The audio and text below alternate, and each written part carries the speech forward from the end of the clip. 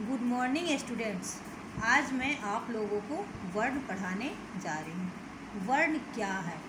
यानी वर्ण किसे कहते हैं? ठीक है? वर्ण के बारे में जानेंगे कि वर्ण क्या है। वर्ण उस मूल ध्वनि को कहते हैं जिसके खंड या टुकड़े नहीं किए जा सकते हैं। उसे हम वर्ण कहते हैं। ठीक है? जैसे अ ई ख, ग इत्यादि।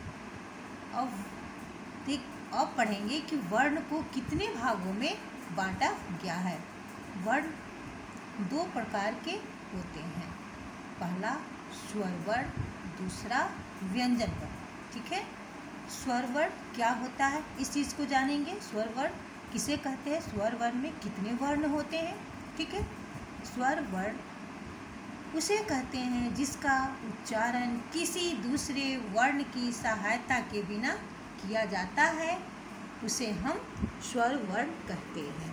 जैसे, अ, आ, ए इत्यादि। ये सब क्या हो गया? स्वर वर्ण ठीक है स्वर वर्ण में अ, आ, ए, ये सब आते हैं। ठीक है, इसके उच्चारण में कंठ, तालु का प्रयोग किया जाता है। किया। जैसे अ, आ, ई ई, उ उ, रि, ए ए ओ औ। ये सब स्वर वर्ण के अक्षर हैं, ठीक है?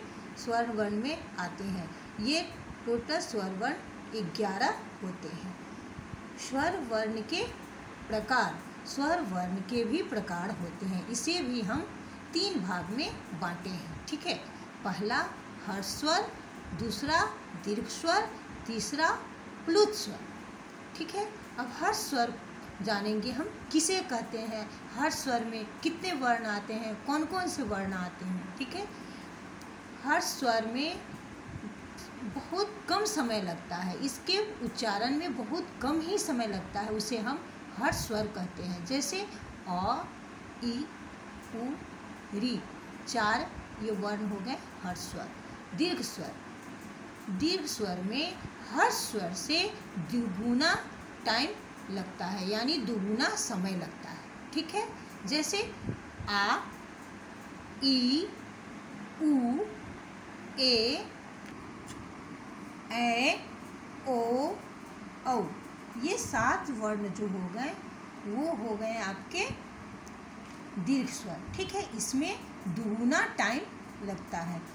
ठीक है? इसको बोलने में हम हर स्वर से दुगुना समय लग, लगाते हैं। ठीक है? प्लुत स्वर। प्लुत स्वर को बोलने में हर स्वर की तीन गुना समय लगता है। ठीक है? जिसे हम प्लुत स्वर कहते हैं। जैसे ओ राम। ये प्लुत की पहचान है।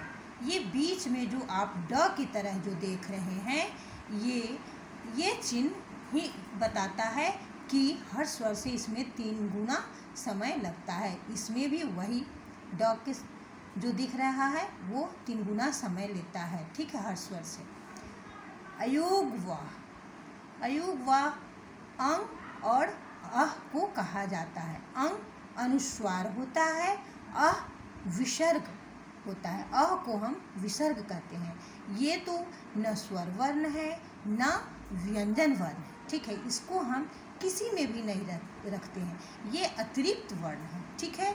ये जो है व्यंजन के मदद से बनता है और ये भी व्यंजन के मदद से बनता है, ठीक है?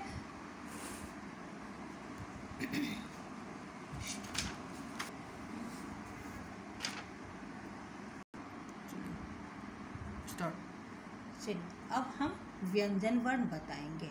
ठीक है, वर्ण का दूसरा, वर्ण को दो भाग में बांटे हैं, पहला स्वर वर्ण और दूसरा व्यंजन वर्ण। ठीक है, व्यंजन वर्ण, उस वर्ण को कहते हैं जिसके उच्चारण में स्वर वर्ण की सहायता ली जाती है। उसे व्यंजन वर्ण कहते हैं। ठीक है, व्यंजन वर्ण का एग्ज़ाम्पल जैसे ख, ग, छ ये सब हो गए इत्यादि, ठीक है?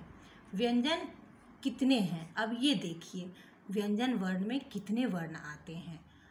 क, ख, ग, घ, अंग, च, छ, ज, झ य ट, ठ, ड, ढ, न, त, थ, द, ध, न, प, फ, ब, भ, म।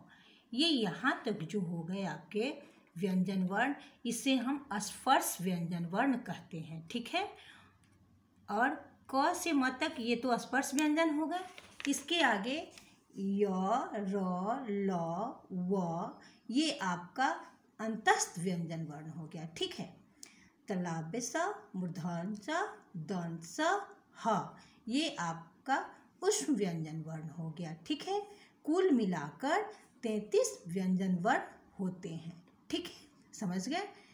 जिसमें और ग्यारह स्वर वर्ण, ग्यारह प्लस तैतीस इजकल टू चौवालीस वर्ण होते हैं। ठीक है? वर्णमाला में चौवालीस वर्ण होते हैं।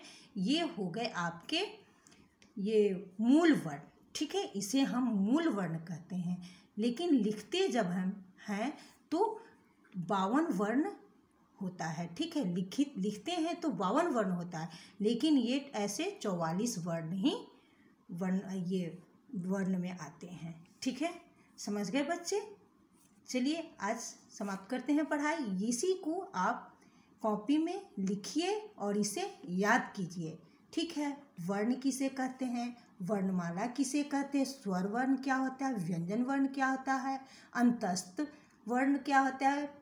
उस व्यंजन वर्ण क्या होता है? स्पर्श व्यंजन वर्ण क्या होता है?